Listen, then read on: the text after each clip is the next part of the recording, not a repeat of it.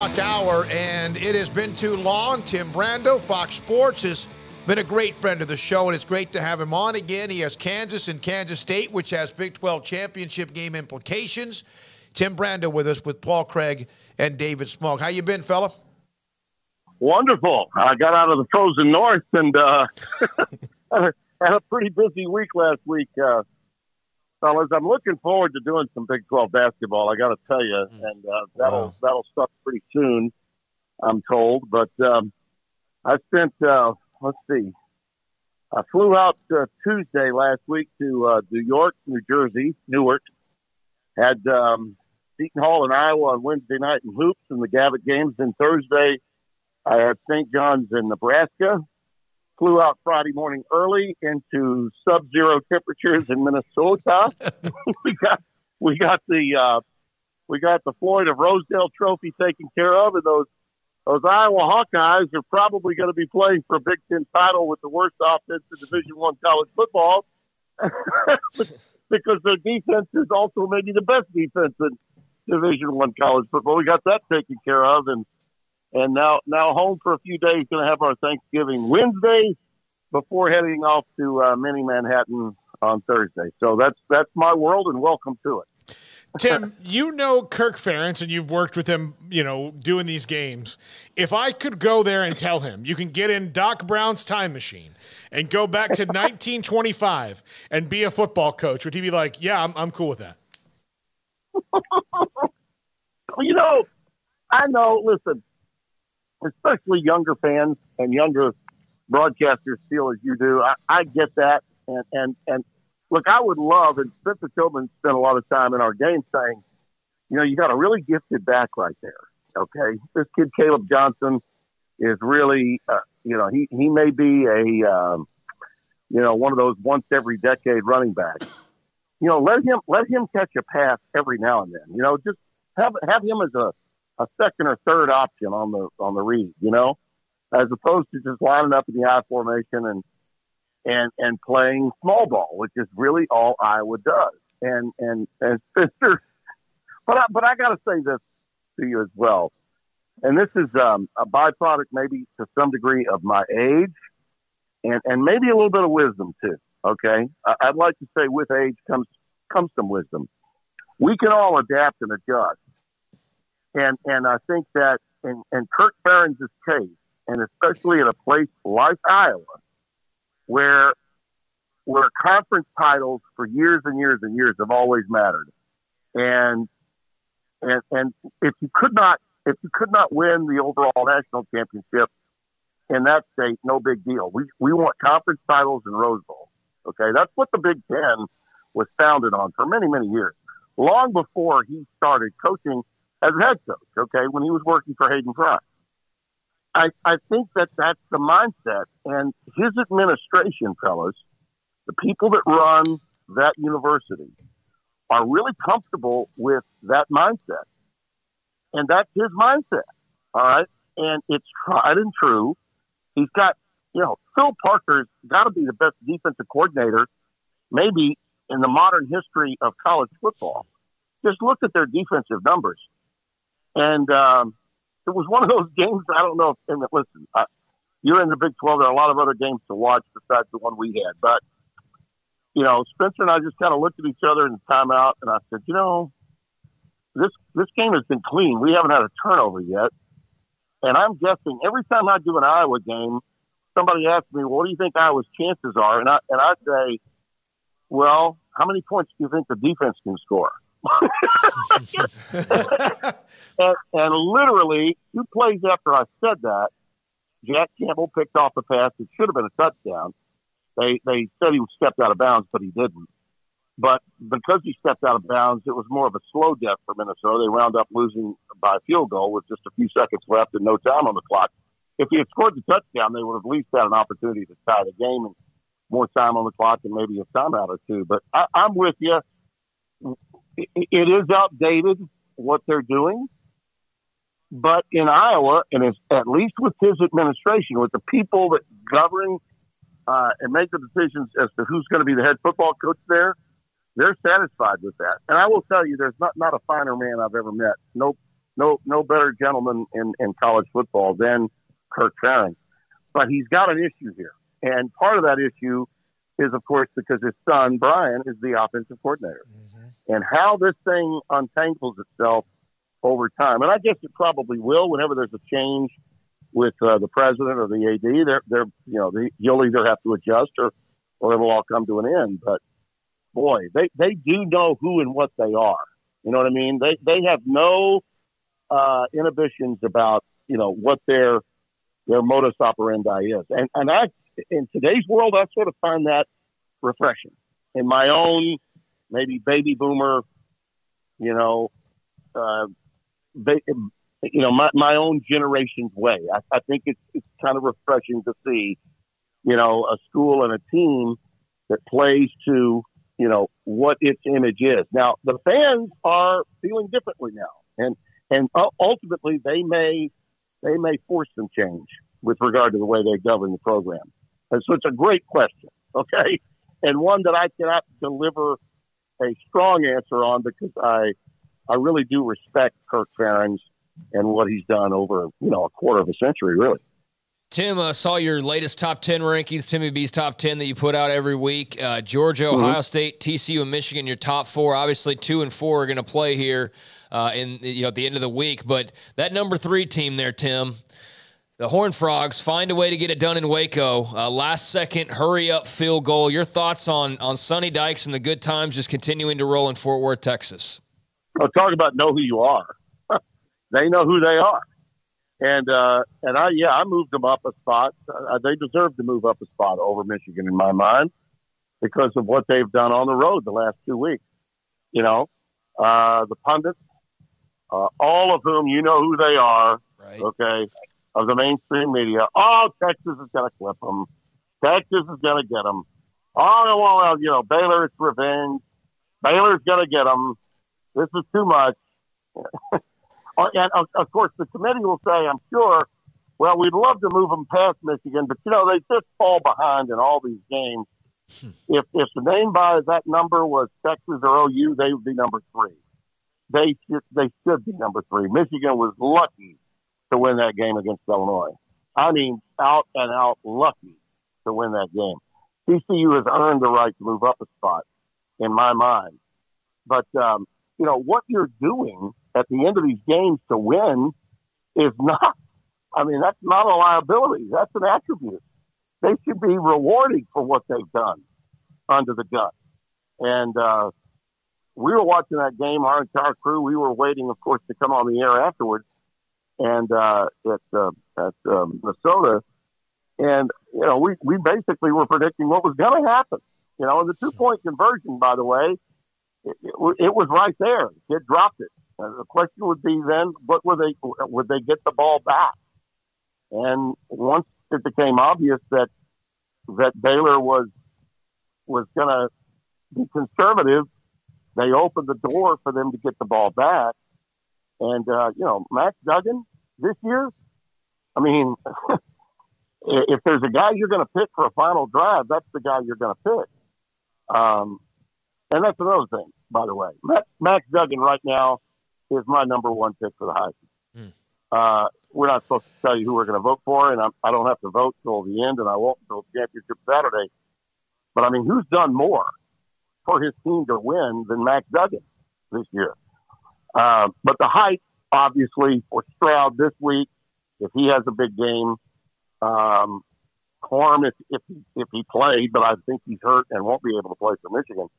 But uh, and the Caleb Williams uh, overreaction to, you know, what was a track meet. You know, the only difference between Caleb, uh, Caleb Williams and Dorian Thompson Robinson this past Saturday was DTR threw interceptions that Caleb didn't throw. I mean, that's why USC won that game. But Duggan has been money. Okay. He's been the best player in the biggest moments of this college football season, in my opinion.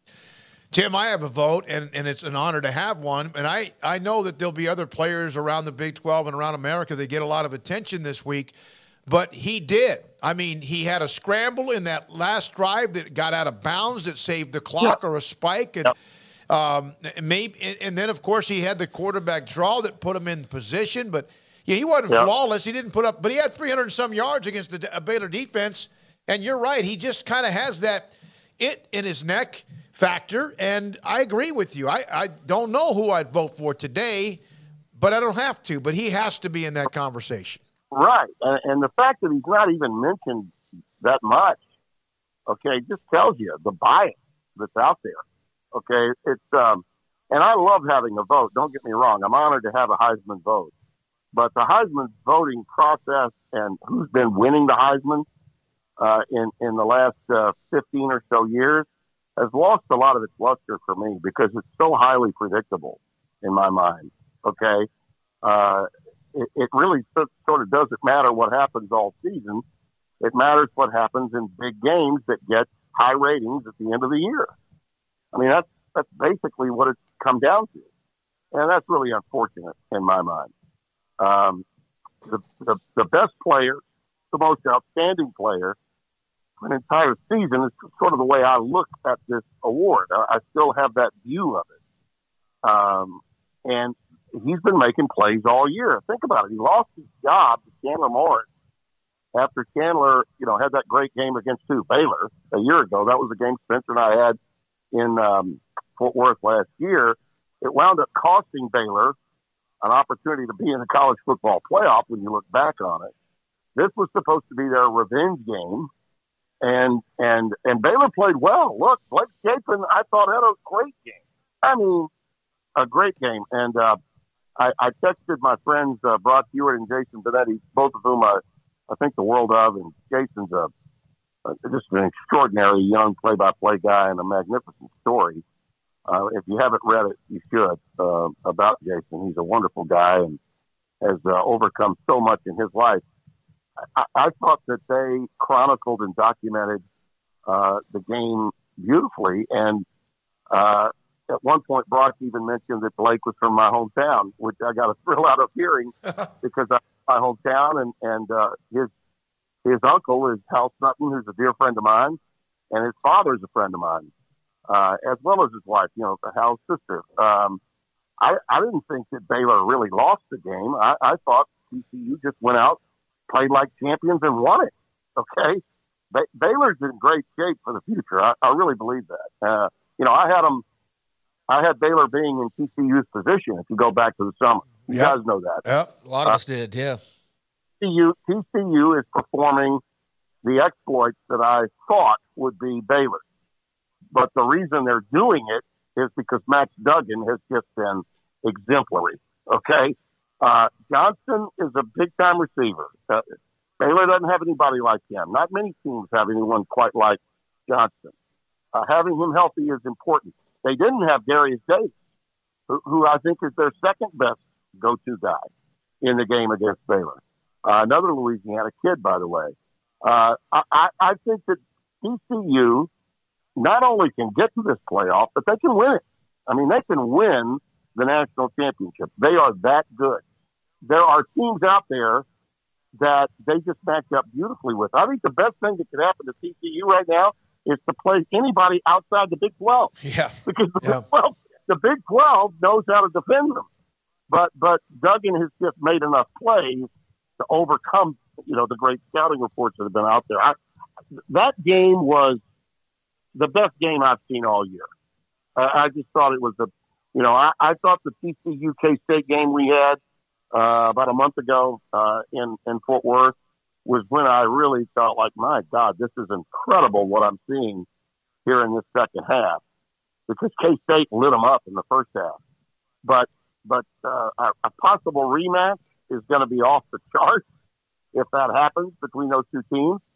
And so if TCU does get to the playoffs, then I think they've really earned it. And if they have to beat K State twice to get there, I mean, anybody thinks that they're going to roll over them just because of the name of the school they're playing against? Forget about it. I mean, TCU is a legitimate national championship potential team if they can beat K State twice.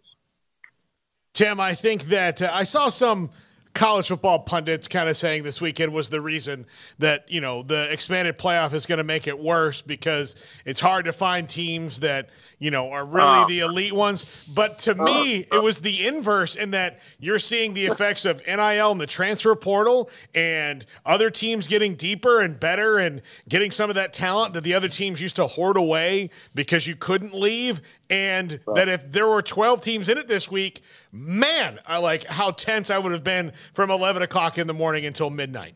Oh my God, absolutely. You know, the only people that don't want this, okay, are the elitists that just want to keep it in their private club. You know, the Bamas, the Clemsons, the you know the the the, the Ohio States. You know that that those fan bases, they they know their percentages are better if there's only four teams. I mean that's that's that's literally it. But what's really amazing to me is how much of the media is so damn lazy.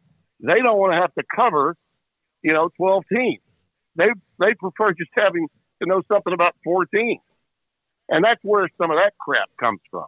It's also some of the old propaganda that was put out by uh, the college football playoff for so many years, saying, "Oh, we don't want to, you know, we don't want to make the the regular the regular season is only going to be enhanced. The whole month of November will go through the roof with more viewership if we have uh, a race for 12 positions rather than four. And as I've stated to you guys many times over, I really think by the time the decision is made to start it, whether it's um, in in 25 or 26, I think we're going to go to 16, not 12. So get ready for it. Tim, the uh, you you were if you don't mind college basketball with and Houston's about to be a part of the conference. They're number two. Right. Texas is or Kansas is four. Texas five or three or four. Baylor's like seven after the loss on Friday to Virginia. Can you imagine that kind, what it is now, much less what it's going to be in the future, even with Texas leaving? Hey, I'm through the roof about the potential of uh, of doing Big 12 basketball. I mean, I, I, I am. I've missed it. You know, I haven't done a game at uh, Phog Allen since 2012 when I was still at CBS. Um, I haven't been, you know, any of the Big 12 schools I haven't been to in that long a period of time. And, you know, the level of play uh, is just, I mean, everybody's good. Everybody is good in, in, in Big 12 basketball. And so, and, and, I, and I'm not going to lie, I'll drive to Waco. You know, I'll drive to Fort Worth. Hell, I'll drive to I'll drive to Stillwater. I mean, I enjoy those drives. So it's more convenient for me too, uh, because I'm traveling, generally speaking, to the Big Ten and the Big East all the time. I do a Pac-12 game here and there, but but rarely. Um, and by the time we get there, I don't know that we'll have the Pac-12 contract or not. They may be on Amazon by that time. I don't know, but uh, I'm thrilled about the potential of uh, of getting to come in there uh, during the winter and and and see um, you know, Drew's team and, and to, to, to be around college basketball uh, in the Big 12 conference again. It's the deepest and the best uh, league in America, has been for probably about a half dozen years. And, um, you know, I, I'm a, I'm a big fan of the game, as you well know. So, uh, I'm excited about it. If you don't mind, one final thing. You were talking about how cold it was. What's the coldest you've ever been? Do you remember broadcasting a television yeah. game? Yeah, yeah. They, I was called in to do a, a CBS NFL game uh, around uh, 2004 or five. Fred Taylor, I remember, was playing for the Jaguars. Mark Brunell was still the quarterback, and they were playing the Bengals in Cincinnati, and it was one of those really cold days in Cincinnati you know, with the wind coming off the river, uh, off the off the river, and, and, it was just. And they asked me to do a, a, a hit for the NFL today. So, for whatever reason, the producers of the studio show wanted the play-by-play guys to come out and do reports on every game that was going to be on CBS that day. And it was snowing, and it was the wind was probably 20, 25 miles per hour and um, I, they wanted me to do a bit on the different shoes that were going to be worn. So that meant that I had to hold two sets of shoes up. And I remember going out, setting up to do it. It's snowing and it's blow, the wind is blowing. and um, uh, I, I could feel my my chin and my uh, uh, nose uh, beginning to freeze over. and as I was holding the, I'm holding a mic in one hand, and I'm holding the shoes in another hand, and showing the cleats. And when I got done, uh, Smoak, I went inside. They had some because I had to hurry to the booth. We're gonna I'm gonna be on the air doing the game in like 30 minutes. They had some hot chocolate waiting for me, and I, I guess I got a little lesson in biology. I was so cold. This was with I had five layers on. Okay, five layers. I'm still so frozen that uh, when I took down the hot chocolate, I literally felt the hot chocolate go down my throat and through my veins. I found out that warm, whatever's warm that you take down when you're that cold, and I was probably close to frostbite, you can feel it going through your body. Like I felt it going down my throat, past my heart, through the chest, down into. It was like, oh my god. I mean, I don't know what whatever the tubes are that that stuff goes through. I felt I felt it in each individual tube. It was like, oh my god. It was a little bit of a rush. You know, it was kind of like, oh my god. Now I know. Um, I was told that um, you know, our bodies were built a certain way, and, and now I now I know it. That was I was that cold. Yeah, that's the coldest. People think you're inside of a booth that's protected. Yeah, uh huh. Nope, not at all. T- Tim, thank you as always. Can't wait to talk to you. Hopefully, though, the next couple of weeks as we find out evidence and also the college playoff as well. We always appreciate your time. We've missed you on the show. Thank you. Thanks, Smoak. It's always good to be with you, and. Uh, you guys do a great job. I'm I'm, I'm always here. Thank, Thank you. you very much, Tim Brando, Fox Sports, and many different stories, including just the college basketball, but also the weekend and his thoughts about Max Duggan and where he is in the conversation. But by the way,